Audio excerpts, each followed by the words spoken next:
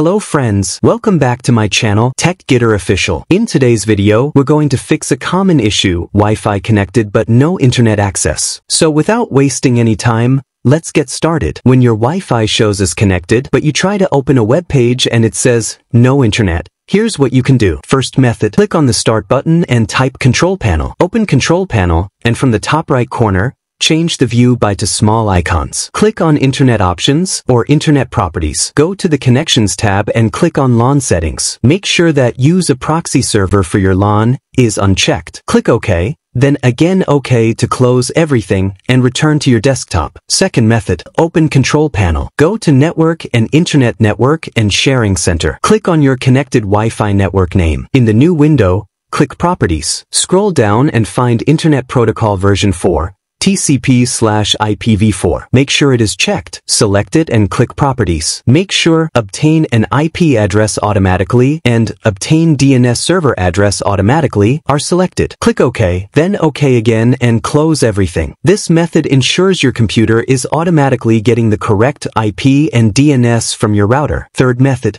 Click on the Start button and search for Network Troubleshooter. Open it and let Windows detect and fix the issue automatically. When Troubleshooter is open then you click on Next and it is automatic detected your problem. Fourth method.